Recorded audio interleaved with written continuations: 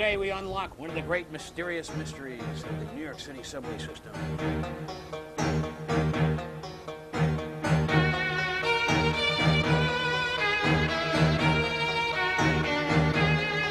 What kind of an animal would you say that is? Is it a gopher? That's a platypus, right? A beaver?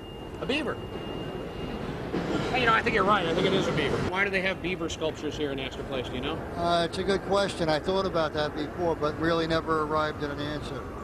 Have you given it a lot of thought? Stan, why the beaver? When it came to Astor Place, they realized that it was named after John Jacob Astor, who made his millions in beaver pelts. Where is this going to air? This is going to air on the. Uh, it's a new network, the Beaver Network. It's 24 hours. We do, all our programming is about beavers. Us Chow 35. Yeah. Subway Q&A, underground weeknights at 10:30.